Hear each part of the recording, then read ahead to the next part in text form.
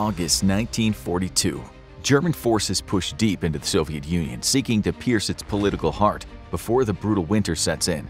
However, just north of Stalingrad, the Soviets fight four brutal battles to slow the advance of the German Wehrmacht. Collectively known as the Kotluban operations, these pitched battles are some of the fiercest of World War II, and the Soviets take 200,000 casualties, a staggering figure. The German assault, however, sufficiently slowed and allows the Red Army to prepare the ideologically important city of Stalingrad for defense. In preparation for the coming siege, the Soviet High Command ships hundreds of tons of cattle and grain across the Volga River. However, Stalin refuses to evacuate a single person of the 400,000 civilians left in the city. This cold calculus has one single purpose. With civilians still in the city, Stalin believes it'll inspire the Red Army to fight all the harder in defense of the city. Plus, many of these civilians can be rounded up and forced to fight as partisans if required. It's a brutal move, made even more punishing by the fact that Stalin's harvest victory, as his shipping of food out of the city is known, leaves Stalingrad short of food for its nearly half a million population. As the German forces move closer, the civilian population is pressed into service to build trenches and other defensive fortifications. Nobody's under any illusion that the siege that's coming will be an easy one and the entire city is preparing for some of the bloodiest fighting of the Second World War. The Germans punctuate the point by softening up the city with a massive aerial bombardment starting on August 23rd and continuing until the end of the month. The German bombing turns the city into a massive funeral pyre and thousands die or are severely wounded. After the 25th of August, the Soviets simply stop collecting data on casualties as there are so many. The Soviet Air Force rises to meet the German bombers, but fighter escorts tear into them German pilots are better trained and more experienced after the failed Battle of Britain, and the Soviet Air Force suffers 201 aircraft losses by the end of the month. By August 31st, the Soviet Air Force has only 192 aircraft left, 57 of which are fighters. The Luftwaffe completely owns the skies over Stalingrad.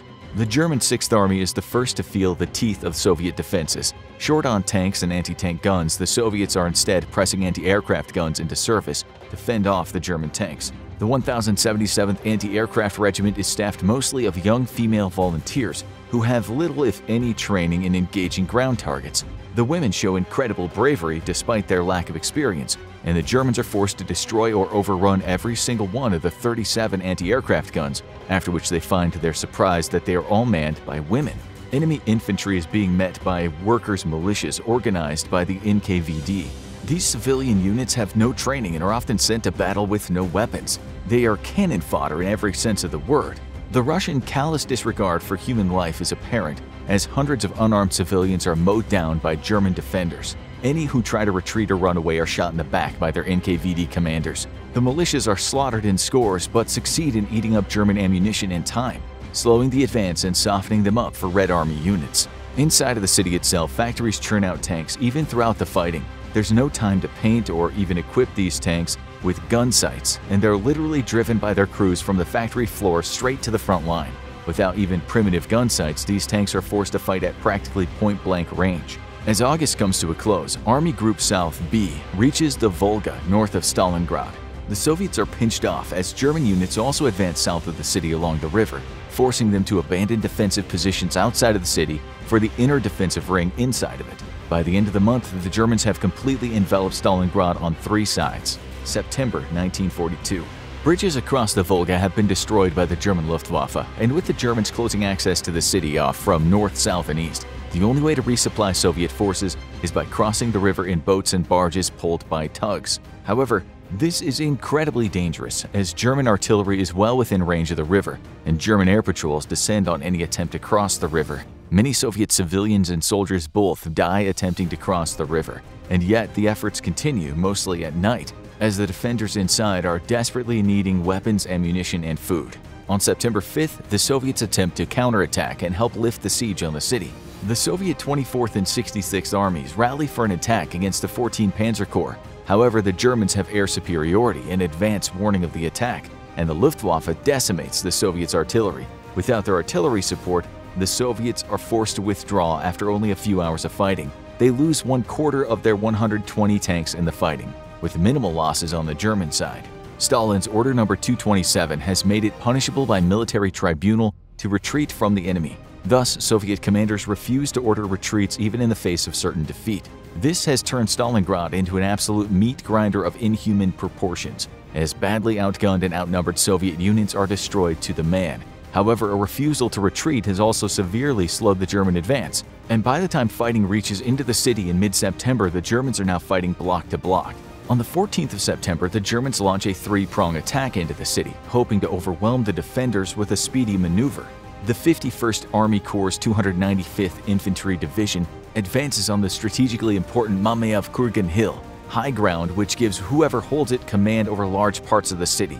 The 71st Infantry Division attacks on the central rail station and the main landing stage on the Volga River, where the Soviets are receiving a steady trickle of supplies and reinforcements from across the river.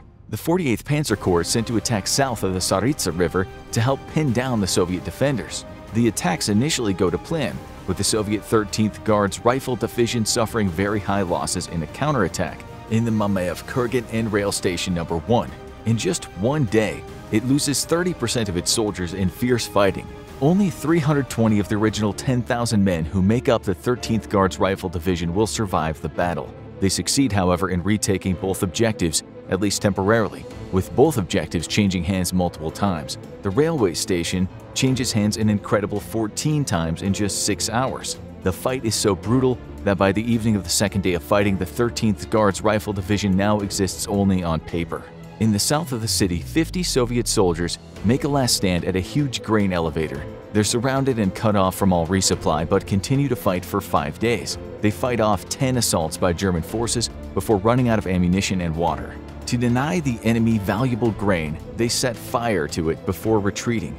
As the Germans sift through the wreckage of the fighting, they're shocked to discover only 40 enemies dead. They believed that due to the intensity of the resistance, they were up against a much larger unit. Elsewhere in the city, Soviet Sergeant Yakov Pavlov commands his unit to fortify the ruins of a four-story building with a commanding view. The building is strategically important, and the Germans attempt to take it with assault after assault. However, the Soviets have surrounded the fortified building with minefields and are defending it with well-entrenched machine gun nests. Incredibly, Pavlov will hold the building for two months with few reinforcements and earn the Hero of the Soviet Union Award for his efforts. The fighting rages through the month of September, with the Germans making slow incremental progress. However, by the end of the month, they've failed to secure the all-important Volga River crossings. Without achieving these objectives, the Soviets are able to continue pouring reinforcements and resupply to the beleaguered defenders, even under assault from German artillery and aircraft both.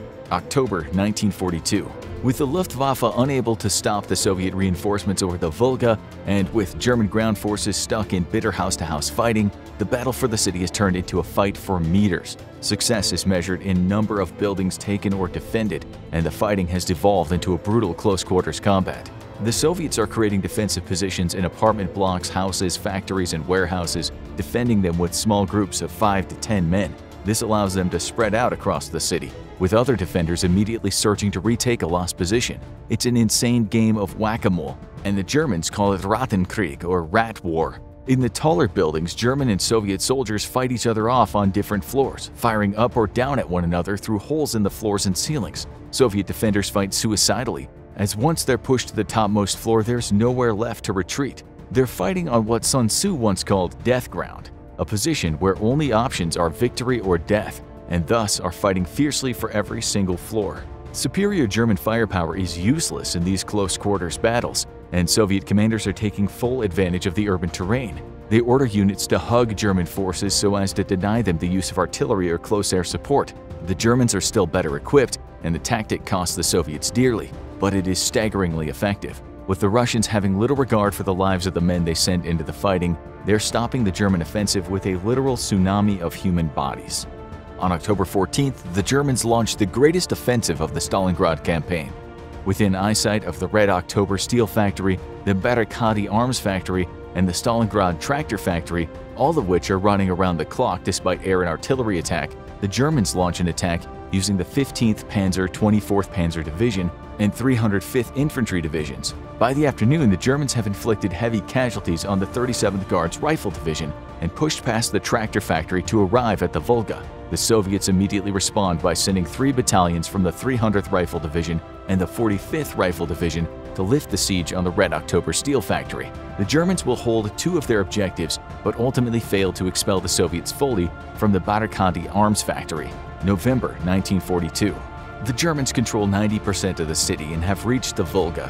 However, by now ice floes make resupply across the river impossible, though the advance has split Soviet forces in two completely surrounded pockets. However, the Germans have focused so completely on taking Stalingrad that they have neglected to secure their flanks outside the city. These flanks are being defended by Hungarian, Italian, and other client state forces who are nowhere near as well equipped or trained as the Germans. They're also severely lacking anti-tank weapons. The Germans have failed to secure the natural line of defense, the Don River outside the city, and what defenders are there are spread dangerously thin across a wide front. This is not lost on Soviet high command, and on November 19th they launch Operation Uranus, a massive attack on the northern flank launched with three complete armies consisting of the 1st Guards Army, 5th Tank Army, and 21st Army, consisting of a total of 18 infantry divisions, 8 tank brigades, 2 motorized brigades, 6 cavalry divisions, and 1 anti-tank brigade. The Romanians have been capturing radio intercepts of the pending attack for days,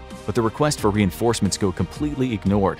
In short order, the Romanian Third Army is completely overrun, and Soviet forces penetrate deep into the German rear areas. Incredibly, the Germans have taken no steps to secure their rear, and the Soviets are able to push far south. Bad weather grounds the Luftwaffe, which is unable to conduct air operations to help repel the assault. On the 20th of November, Soviet forces launch a second offensive south of Stalingrad against the Romanian 4th Army Corps. These Romanian forces are largely made up of infantry and lack anti-tank weapons, thus they're easily routed by Soviet tank forces. Three days later, on November 23rd, Soviet forces from the northern and southern attacks meet at the town of Kalach, effectively trapping the German 6th Army and supporting forces inside Stalingrad. In total, 265,000 enemy forces have been trapped inside Stalingrad, the city they had fought so hard to take. Like a mouse straining for cheese on a trap, the Germans are now stuck.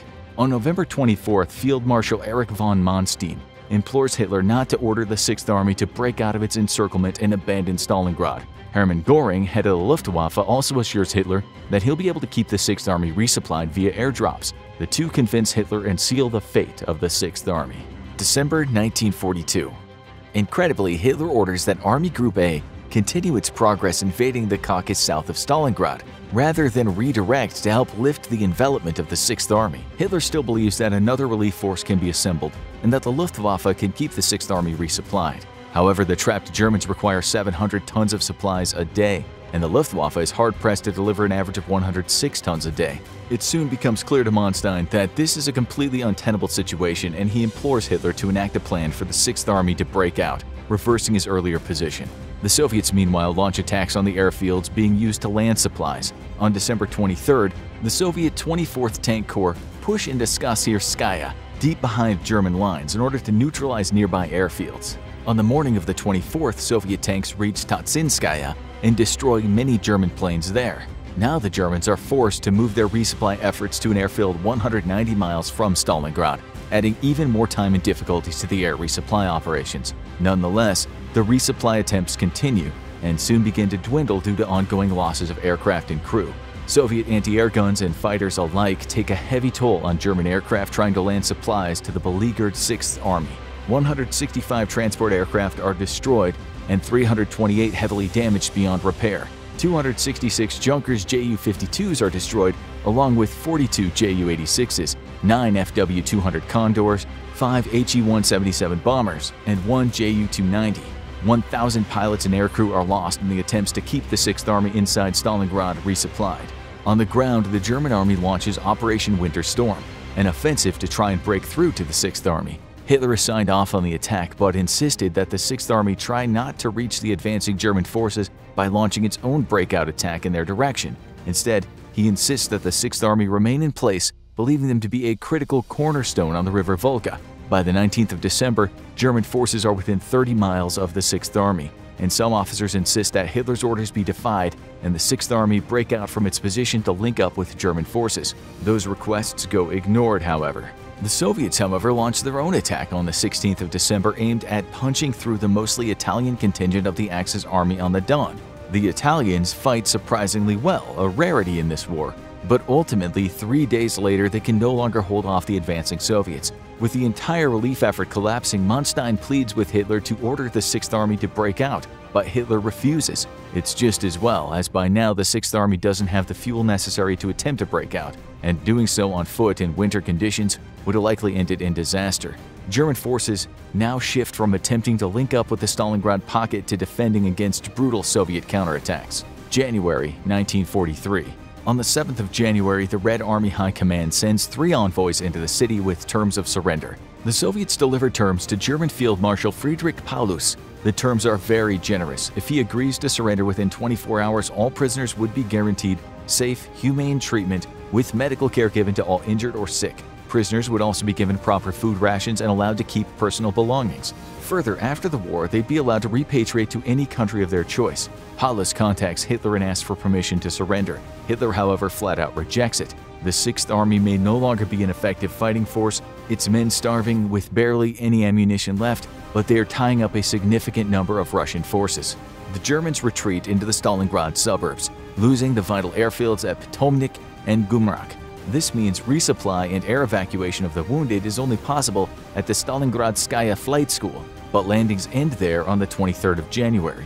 Only intermittent airdrops of supplies will continue from this moment on. The 6th Army has been all but completely abandoned. Bloody urban combat ensues, with the Soviets steadily pushing the Germans back toward the Volga River. The Germans refuse to surrender, believing the Soviets will simply kill any prisoners taken. Some Soviet citizens, unhappy with Stalin's regime, have joined the Germans, and they fight like caged animals, knowing that they will for sure be killed if captured. On the 22nd of January, Paulus is once again given terms of surrender. He contacts Hitler and informs him that he can no longer command his men as they have no more ammunition or food. Hitler, however, once more denies him the opportunity to surrender and instead orders that he and his men stand fast to the last soldier and the last bullet. He promises Paulus that he and his men have made a historic contribution to one of the greatest struggles in German history and will be remembered as heroes. On January 26, German forces have been completely split by a Soviet thrust into two pockets. The northern pocket consists of the 8th Corps and the 11th Corps, and they're cut off from communication with Paulus by Soviet forces. Two days later, the defensive pockets are once more split, this time into three parts, with the northern pocket containing the 11th Corps the Central Pocket the 8th and the 51st Corps, and the Southern Pocket the 14th Panzer Corps and the 4th Corps. The Germans now have 40,000 to 50,000 sick and wounded. On January 30th, in response to Paulus's notification that the entire army will likely collapse by the end of the day, Hitler issues field promotions to several officers in the 6th Army. He promotes Paulus to General Field Marshal and reminds Paulus that no German or Prussian Field Marshal has ever surrendered in combat. This comes with the implication that if Paulus surrenders, he will be shaming himself for eternity. The next day, the southern pocket collapses, and Soviet forces take German headquarters, capturing Paulus, who claims that he was taken by surprise. He refuses to issue an order for the northern pocket to surrender. The central pocket surrenders a few hours later. February 1943. On February 2nd, the northern pocket officially surrenders to the Soviets. An estimated 91,000 German prisoners of war are captured, many of them wounded, sick, or starving. Few of them will survive brutal Soviet POW camps and make it back home to Germany after the war. Now go watch Battle of the Bulge or click this other video instead.